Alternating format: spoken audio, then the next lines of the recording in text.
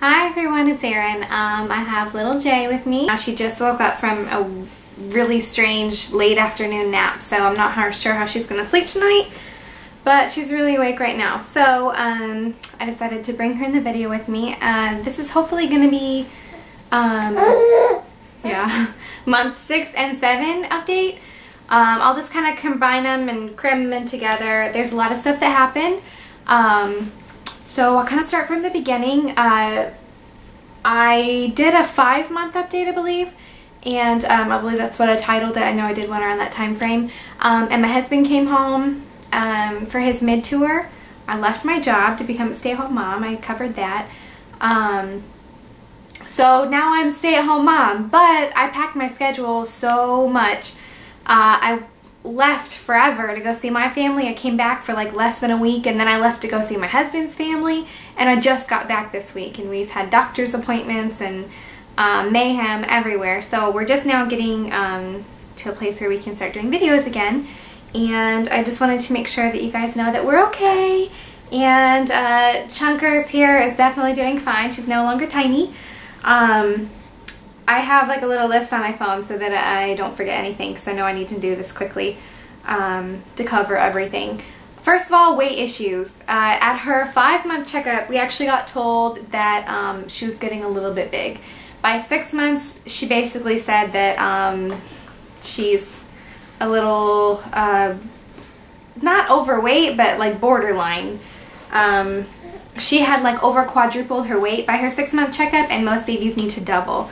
Granted, she was really tiny, so she should have more than doubled, but quadrupled is a little bit much. Um, we just went to, I'm going to get her a toy. We just went to a um, doctor's appointment. You like your Sophie? Yeah? Oh, yes. We like Sophie. Um, we went to a doctor's appointment on her seven month mark, so on the 4th. Um, and she ended up weighing 19 pounds 7 ounces at 7 months. That is huge. And I just went shopping for clothes the other day and looked on the tag and saw that 12 months is 20 pounds. She's not going to fit into 12 months because she's too short. Um, and she still fits in a 9 month just fine. And even some that say 6 to 9 months she still fits in. So I know that's not completely accurate, but just thinking like she's so huge. Like I really think my body must have just said this child is gonna blow up and get too huge. I need to have her right now. I think that's the only reason she was preemie because ever since she was born she's just been gaining weight so quickly. So anyway, she's nice and chunky and healthy and um, if anything we have to restrict her food a little bit. I'm not overfeeding her. She gets four to five six ounce bottles a day and then now she's getting food too. So, I mean, it's every day varies. We're not really that strict with schedules. That's the next thing I want to talk about. Um, I know a lot of moms are very strict with their schedules. Everything's timed. There's like a 10 o'clock nap, a 2 o'clock nap, you know. Um, we're, we're more flexible. I just know that typically she's awake for about two hours and she'll have a bottle and she'll take a nap. She's awake for two, three hours. She has another bottle. She takes a nap. Could be the nap right before a bottle or could be a nap right after a bottle. I just know that that's about how she goes and we're pretty flexible and she seems happy with it and her nighttime sleeping is amazing. We had a little setback whenever you don't know who I'm talking to? No. um, we went to my husband's family and um, she's been teething ever since five months and it got worse whenever we were there. Uh, still nothing in the mouth at that point. Um, she was having diarrhea. She wasn't sleeping at night again. It was awful. But the day we got back here, she slept 13 hours that night. And before we left, she was sleeping 10 to 11 hours that night. And, you know, that's from 7.30ish on, so it's not like I'm getting that much sleep. But she's getting a lot of sleep, and it's amazing. And it's all the way through the night, so I cannot, cannot complain. Um, but here lately, the last couple days, it's been like 11, um, about 11 hours every night. So Sleeping Champ, awesome. Um, and, ooh, yeah, ooh, ooh. Um, on the subject of teething, she got her first tooth. It's like barely coming through the gum. It's like barely peeking through. I reached my finger in there two mornings ago and like I do it every morning. I wash my hands when I make our first bottle. And do you not want this, honey? Um, I wash my hands when I make our first bottle and I always reach in to see if I can feel something and bam, it was a little sharp edge and I had felt a lump whenever we were in New Jersey, but nothing, um, nothing came through yet. So, um, let's see if she wants this. You want your sippy cup? No? Yo, yes. Good girl. Um, so that's really awesome and I felt so excited and so sad at the same time. I don't know why I felt sad. I just feel like she's growing up and she, I mean, she's taking a sippy cup. Um, milestones, she is seem, seeming to hit all of them. Um, verbally, she can repeat um, consonants. She can say da da, ga ga. Um, she babbles a lot, especially when she thinks she's alone or when she's playing by herself or like in the crib in the morning. Um, in front of people, not so much, but um, she's starting to get a little bit shy. And um, she can sit up, but one really weird thing, um, she will not roll over. She rolled over really early on, honey, um, really early on from her belly to back. When I would lay her on her belly, she would roll to her back. And she did that at like three months, which was awesome. Um, and I hold you like this. And uh, I thought we, everything was going to be just fine. And then like around five months, it kind of became less and less, six months. Now she'll just lay on her belly and she'll scream and wait for me to roll her over. And I'll wait for a long time because I don't want her to get used to that. But she'll lay there until she's hyperventilating and snotting. And then, you know, I'm like, well, I let my child suffer, so I roll her over. But she's just gotten really lazy and she's never rolled from, from back to belly. And we do tons of tummy time. We do blanket tricks. Um, we go to Gymboree once a week. Um, and a, a Gymboree play, not the clothing store. Um, and they do tons of like interactive things and teach you how to like sing songs and play with song play with um, colors and bubbles and tons of fun stuff and they showed us this blanket trick to try to get her to roll over and we do that. I don't know what else it is. Um, we work on it every day try to get her to roll over and she just won't. So we have um, a follow-up physical therapy appointment because she was in the NICU they just do it. It's routine for all babies who are in the NICU um, and I'm gonna ask them about that whenever we get there. Um, Oh, I guess she's wanting to talk right now, even though she's not alone. Um, medical issues that we've had so far. Um, she has had a lot of coughing. Sorry, to talk over her. She's had a lot of coughing um, since she was two, three months.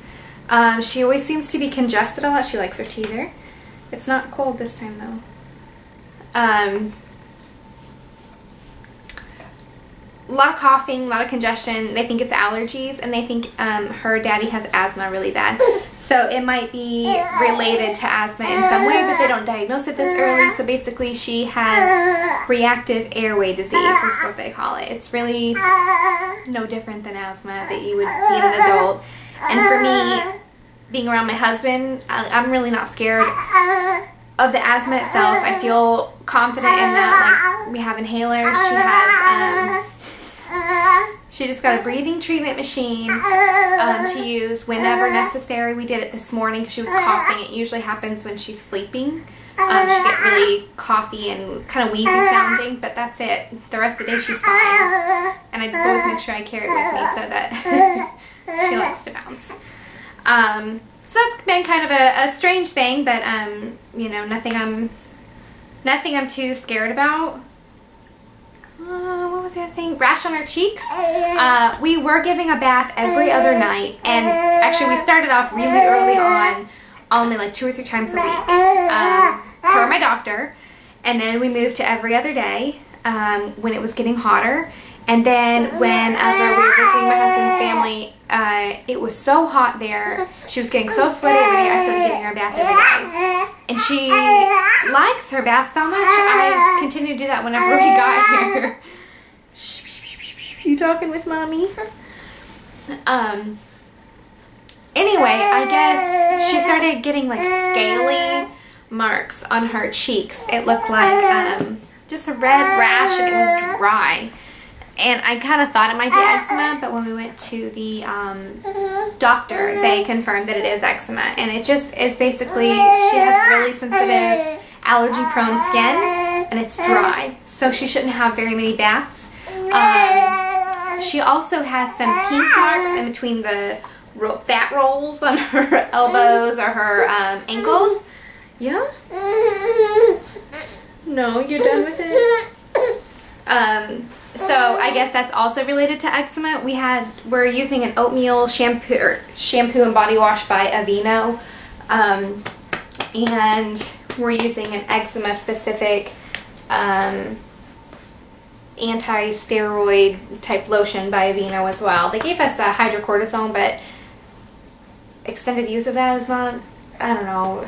I, I might use that too. on Not on her face. You're not allowed to use that on her face, just on the rest of her body. Can you see yourself? Yeah. Can you see yourself? Yeah? Uh, and the last issue, um, we have, she has uh, almost like a lazy eye, only when she looks in a certain direction. Um, again, nothing I'm that worried about. I just wanted to ask the doctor about it and they said that we're going to go to an eye specialist. So I don't know if that means they might do nothing and keep an eye on it. She might wear glasses for a little bit. She, I don't know. I have no idea what they're going to do. Okay, so um, I hope everybody out there is doing okay. And uh, I know that there's a couple of military spouses. I think I said this on my five month, but I never really heard from them. Um, there's a few other military spouses out there that their husbands were gone or their significant others were gone and they were going to have to be going through this alone too. So um, if anybody is going through that and wants to tell me how they're doing, I know there was two ladies in particular who were commenting on the videos and then a few other had sent me private messages. Um, but I'm really, I think about you guys all the time and I am wondering how you're doing about it. Um, if your spouses are back, uh, if you went to live with family, if you were already around family, I can't remember for some of them. Um, anyway, comment below and let me know how you're doing or send me a private message. And um, I hope everybody's doing really well. These will probably be, the updates will probably be um, once a month or maybe more. I'm not really sure. I'm not going to commit to too much um, knowing that I have a full schedule with her now. Uh, but I will be home more often, so hopefully I'll have more time to make them. Um, and product reviews, and that'll pretty much be it. So, um, I guess that's it. Can you say bye? Can you say bye? Can you say bye-bye?